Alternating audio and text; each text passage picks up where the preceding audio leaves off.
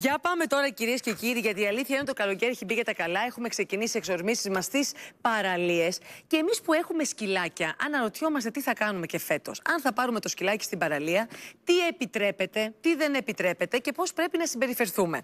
Πάμε να πούμε καλημέρα στον κύριο Δημήτρη Πολυζώη. Είναι αντιπρόεδρος συνδέσμου κτηνιάτρων μικρών ζώων Αττικής και εδώ θα έχει όλες τις πληροφορίες και όλα τα στοιχεία να μας τα δώσει ο ίδιος. Καλή σας ημέρα, τι κάνετε; Καλημέρα, γιατρέ. Καλημέρα, καλημέρα, καλή εβδομάδα. Γιάννης Πολυζώη. Γιάννης, Συγγνώμη. Δημήτρη, να Γιάννη. σας άλλαξε Συγγνώμη, το όνομα. συγγνώμη, συγγνώμη. Νονά, Γιάννη. συγγνώμη. Ναι. Προφανώς, Φέραμε- συμβαίνει. φέραμε και τη γιορτή πιο Συμβαίνουν κοντά, αυτά. αλλά δεν Ζωντανό πειράζει. είναι άλλωστε, στα ζωντανά συμβαίνουν αυτά. Έτσι, Μην ε. ανησυχείτε. Συγχωρέστε μας. Και μιλώντας τώρα για ζωντανά. Αυτή είναι από τους πιο ωραίους καυγάδες στην παραλία. Αυτή που έχει πάει ένας, ας πούμε, με το σκυλάκι του ή μια οικογένεια με το σκυλάκι της και θέλει να κάνει τον μπάνιο της όλοι μαζί. Και είναι κάποιοι οι οποίοι στραβώνουν που ήρθε ο σκύλος στην παραλία. Λες και ο σκύλος είναι κάτι το οποίο είναι μυαρό. Χρόνια διαμάχη και δεν ξέρει και κανένας τι επιτρέπεται και τι δεν επιτρέπεται. Αυτό. Αυτό, είναι το θέμα. Έχουν όλοι δίκιο. Αυτά, αυτά είναι τακτοποιημένα και με τον καινούριο νόμο το 4830 του 21, ο οποίος κινείται γενικά στη σωστή κατεύθυνση. Στις μη οργανωμένες παραλίες Ναι. ε- επιτρέπονται οι σκύλοι. Αυτό είναι σαφές. Όπως και στη θάλασσα μέσα επιτρέπεται ο σκύλος. Δεν επιτρέπεται στις οργανωμένες παραλίες και στις παραλίες ε, επίσης ε, που έχουν γαλάζια σημαία. Σε αυτές τις παραλίες δεν επιτρέπεται. Άρα δεν Επίσης επιτρέπεται μπορεί- να τον πάρω μαζί μου στην παραλία, να είμαι σε μια ξαπλώστρα και να τον έχω δίπλα, ούτε να μπει και στη θάλασσα; Στη θάλασσα μέσα επιτρέπεται. Ακούστε εδώ το, είναι το παράδοξο. Δηλαδή, αν είναι μέσα Και στη πώς θα θάλασσα πάει και πετώντας, θα κολυμπάει, πάει ο σκύλος μέσα στη θάλασσα; Ε, δηλαδή να τον πάρεις αγκαλιά. Να τον πάρεις αγκαλιά, αν είναι μικρός σκύλος και να τον Α. πάρεις. Ναι. Αυτό Να επιτρέπεται. έχεις ένα λικόσκυλο Και στις μη 45 οργανω- κιλά. και στις μη οργανωμένες παραλίες. Ναι, ωραία, τώρα για να Είναι το καταλάβουμε. προκλητικό. Το κουφό του νόμου. Ο νόμος στις οργανωμένες παραλίες σε αφήνει να έχεις το σκύλο μέσα στη θάλασσα. Αυτό όχι. που κάνει έξαλλος στους περισσότερους. Μάλλον στις οργανωμένες παραλίες απαγορεύεται τελείως. Τελείως. Α, Και στη τίποτα. θάλασσα και, και έξω στη, Ωραία. στην παραλία. Πλάς. Τελεία. Τώρα, Πάει. στις μη οργανωμένες παραλίες επιτρέπεται κανονικά ο σκύλος και στην παραλία και μέσα στη θάλασσα να κολυμπάει. Αυτό και τελειώνει.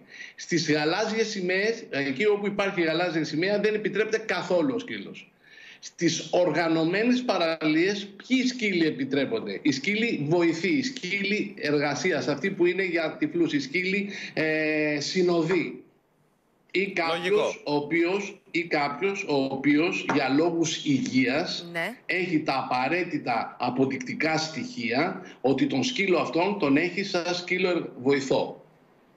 Αυτό Μάλιστα. επιτρέπεται μόνο σε αυτή την περίπτωση. οποιαδήποτε, σε οποιαδήποτε παραλία. Άρα, αν εγώ είμαι σε μια οργανωμένη παραλία, κάνω το μπάνιο μου και εδώ δίπλα να έρθει ένας κύριος, μια κυρία με το σκυλάκι και μπαίνει στη θάλασσα και αυτά, δεν επιτρέπεται. ε. Δηλαδή, αν εγώ πω Στις κάτι. οργανωμένες δεν επιτρέπεται. Δεν επιτρέπεται. Επίσης, επίσης, να πούμε και κάτι άλλο.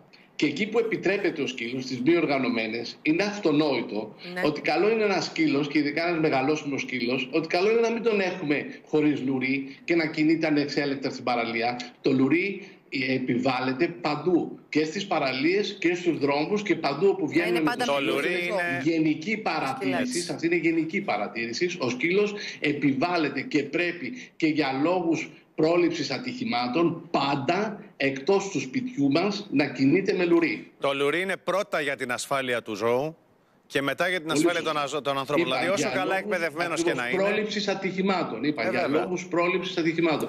Άρα Είναι- λοιπόν, αυτό επιβα... υπάρχει, και, επιβάλλεται παντού. υπάρχει και μια περίπτωση που πήγατε να μας πείτε που επιτρέπεται ο σκύλος στη θάλασσα αλλά όχι στην παραλία; Όχι, από την... πα- όχι, όχι, όχι. Αυτό είναι όπως το είπαμε.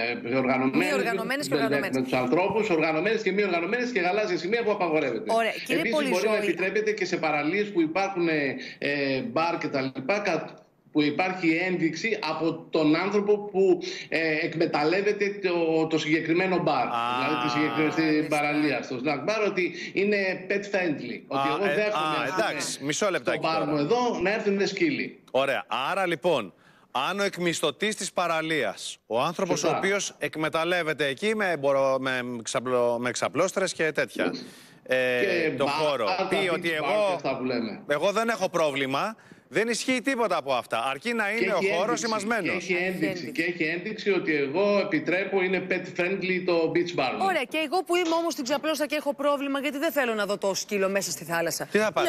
Τι θα πάθει. Δεν θα πάθω τίποτα. Και πολλές φορές αυτά είναι και πιο καθαρά από τους ανθρώπους. Ξεκίνησα.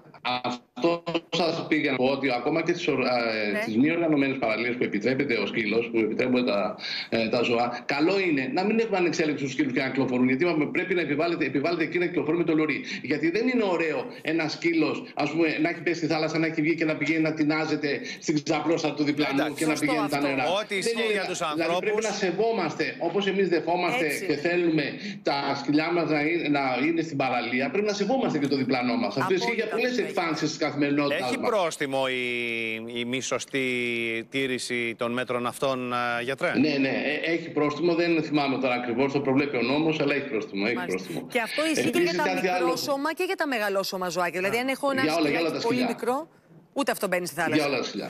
Τώρα, από ιατρικής πλευρά, που αυτό για μένα είναι το πλέον σημαντικό. Ε, το καλοκαίρι είναι πάρα πολύ δύσκολη εποχή για τα σκυλιά. Πάρα, πάρα πολύ δύσκολη εποχή. Οι σκύλοι, να ξέρετε, δεν έχουν πόρους στο δέρμα τους. Mm. Δεν, δεν υδρώνουν όπως ο άνθρωπος. Πόρους έχουν μόνο στη μύτη και στα πέλματα. Όλη η θερμορύθμιση γίνεται με το σάλιο. Ω εκ τούτου, οι σκύλοι υποφέρουν με τις υψηλές θερμοκρασίες. Όπως έχουμε αυτές τις θερμοκρασίες, τι μέρες δηλαδή που βιώνουμε, ο σκύλος υποφέρει. Άρα και στην παραλία που το παίρνουμε, α είναι στη θάλασσα και να δροσίζεται, θέλει να είναι σε σκιερό μέρο να είναι κάτω από ε, προφύλαξη. Δεν μπορεί να τον έχεις εκτεθειμένος στον ήλιο. Ή επίσης οι πατούσες του σκυλού, τα πέλματα του σκυλού είναι πάρα πολύ ευαίσθητα. Δεν μπορεί να τον έχεις με τις ώρες του σκυλού να περπατάει στην καυτιά μου. Θα πάθει εγκάσματα, θα, πάθει, θα τραυματιστεί. Όλα αυτά πρέπει να τα προβλέπουμε. Να έχουμε πάντα δροσερό νερό. Να έχουμε πάντα νερό στο σκύλο να του βάζουμε να πίνει. Δεν είναι ότι μόνο στη θάλασσα. Ακριβώς. Πρέπει να συμπεριφερόμαστε και ανάλογα όπως Ευχαριστούμε πάρα πολύ. Στα παιδιά μας Γιατί η θερμοπληξία, την οποία αντιμετωπίζουμε πάρα πολύ συχνά αυτές τις μέρες και στα ιατρία μας, και οροφυλαχτεί σε αυτές τις περιπτώσεις. Σωστά. Σας ευχαριστούμε πάρα πολύ. Την καλημέρα μας. Καλημέρα. Φεύγουμε. Γεια σας, γεια σας.